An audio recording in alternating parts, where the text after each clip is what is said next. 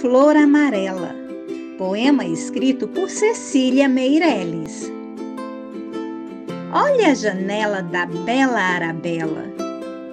Que flor é aquela que a Arabella molha? É uma flor amarela. Olha a janela da bela Arabella.